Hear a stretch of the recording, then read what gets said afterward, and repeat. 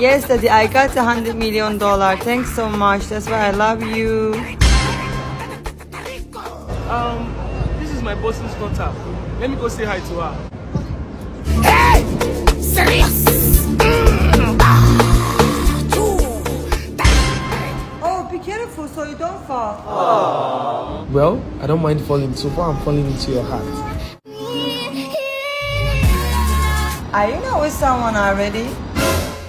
Oh, that's my business colleague. I don't know if you could give me your digits. I can call you later. Sure, why not?